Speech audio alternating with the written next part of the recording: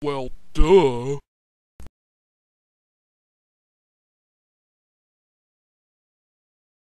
Hello, this is WellDuh Films here today, and I'm going to show you how to make your laser pointer not only work with the batteries it comes with, but also with the less expensive and more efficient AAA batteries, using only these components in about 15 minutes of your time.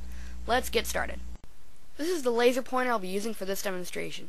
It's your basic, average laser you can find just about any store. This is the casing we're going to use to hold the batteries. It was originally a Duracell mini flashlight, but when you remove the light bulb and the clicker at the top, it's just big enough to hold three AAA batteries.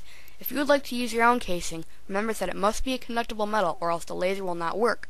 If you do not have a casing handy, keep watching later in the video as I demonstrate the same trick, only with a homemade aluminum foil casing. Obviously we're going to need three AAA batteries, which by the end of the video will be powering your new and improved laser. You're going to need some duct tape. You can buy it at just about any store for a couple of bucks, and it's pretty easy to find. I prefer to use electrical tape as it reinforces the duct tape, but if you don't have any, it's no big deal. Okay, we're only going to need a couple of rubber bands, and these are very important because they hold the parts together so you can tape over them. For those of you who do not have a casing to use, you will use this aluminum foil later on in the video. Okay, we're just going to take our flashlight pen and unscrew the top like so. And now as you can see we have a perfectly hollow casing. Okay, we're just going to open up the box. Okay, so now we got our laser pointer. We're going to unscrew the top. And we're also going to unscrew the back. Take out all the batteries inside of it. Okay, so now we have a hollow battery case and laser. Okay, we're going to need some aluminum foil for this part. Just grab a small piece and roll it into a ball. Okay, so once you've done that, we're going to put it upside down through the pen flashlight that's now a hollow casing. The reason we do this is in order to complete the circuit, we need the last battery to be touching metal on the end. Like so. Now we need to put the batteries, plus side down, through the casing. Almost done. Now what we gotta do is take our laser and our battery casing, now filled with AAA batteries, and put them together. And as you can see, the laser works perfectly. This is what you should have. This part's a little bit tricky, but not too much. What we're going to do is take the rubber band and put it over both ends of the flashlight casing and the laser.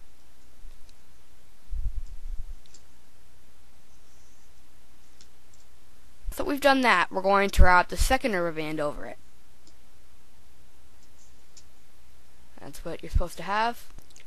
As you can see, the laser still works. Now we're just going to put the laser over the duct tape right where the two points of the laser and the casing meet. And you should have this. Now all we're going to do is cut the duct tape. Like so and finish rolling it up. Almost done. Now we're going to take the electrical tape and put it on the ends of the duct tape. As you can see, the light still works. Now we're going to put tape on the bottom and just rip it off. So if you've been doing this right, this is what you should have so far and the lights still should work. We're just about done. Now all we gotta do is cut the rubber bands on the top side. Just like this.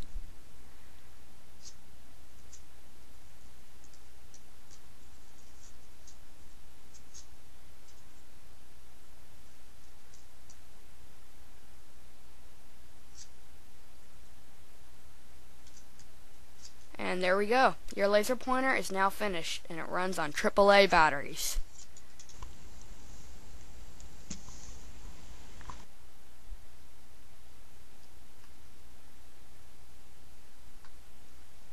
That's what it should look like.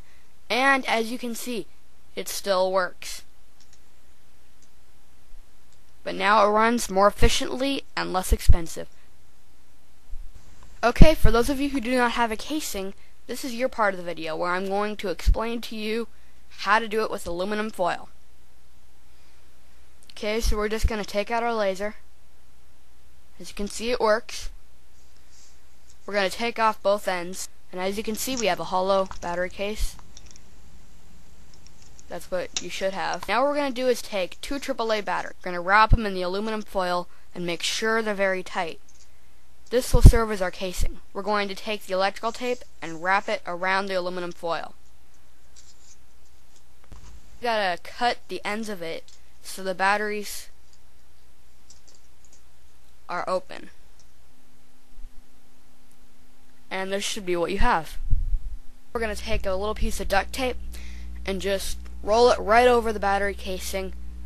Both ends are still visible. That's very, very important.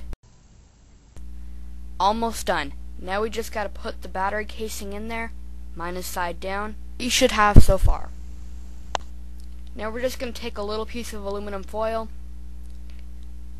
and put it over the plus side on the very end. It completes the circuit for the laser to work. And there we go. Now the laser works.